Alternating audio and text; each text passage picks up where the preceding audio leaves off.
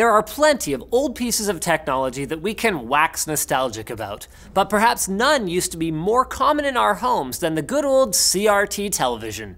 You know, those heavy, boxy consoles that made interesting noises when you flipped them on or off. And it wasn't just TVs. CRT computer monitors were also ubiquitous for a long time. But then, starting in the early to mid 2000s, they began to disappear and then seemed to be gone in the blink of an eye just a few short years later. So, why did they vanish from our lives? And how did it happen so fast? Well, to understand this, it first helps to understand how a CRT works. At the back of a CRT display is an electron gun that fires electrons at the front of the set the inside of which is coated in phosphors that glow different colors when they're hit. CRTs also have steering coils at the back, which aim the electrons to different parts of the screen by adjusting their own voltages. The technology itself is fairly simple, but the issue is that this entire apparatus needs to be contained in some pretty heavy duty glass in order to work properly.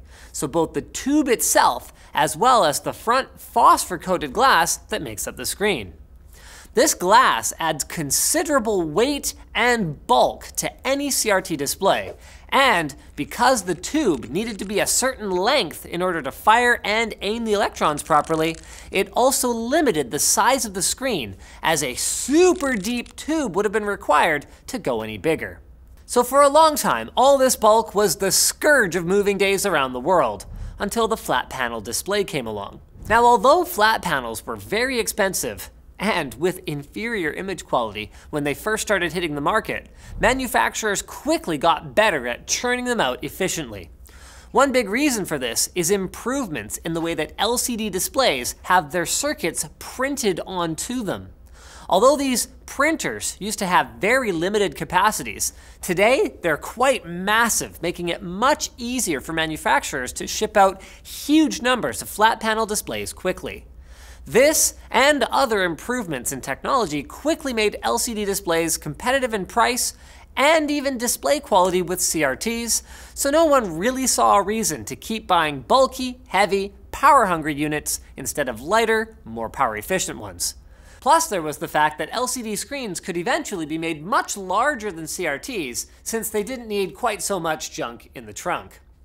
So while demand for flat screens spiked, the market share of CRTs plummeted. In fact, one UK retailer reported that back in 2004, over 80% of the TVs they sold were CRTs, but then that in 2006, that number had dropped to less than 5%.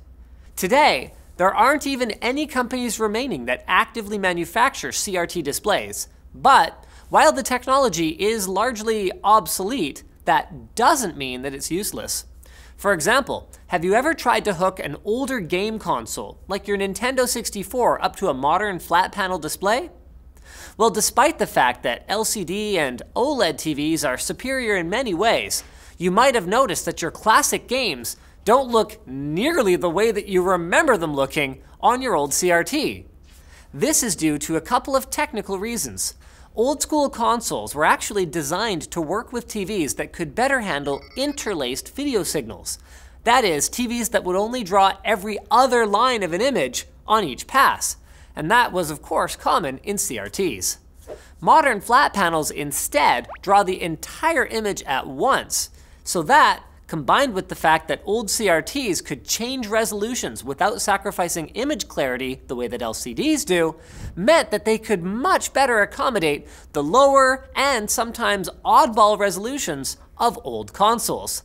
Even the fanciest of new flat panel displays often produce funky looking artifacts if you try to play retro games on them without investing in an expensive outboard scaler. So as it turns out then, there's still quite a second-hand trade in CRTs among classic game aficionados, as well as AV junkies who appreciate the deep blacks, negligible input lag, and the smooth motion that CRTs provide. But if you want one, I just hope that you've left enough room in your budget to cover beer for the gang of friends that you'll need to move it. Speaking of gangs of friends, Check out Brilliant, the website that helps you sharpen your skills in math and science with fun daily challenges and participate in the giant community while you do it. Whether you're interested in computer science, statistics, meteorology, or some other field, Brilliant's daily challenges help you master concepts by giving you the tools that you need to solve the problems yourself.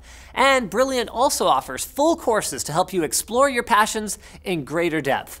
Recently, their users have done everything from using computer science to cook more easily to figuring out the area of complex objects like snowflakes.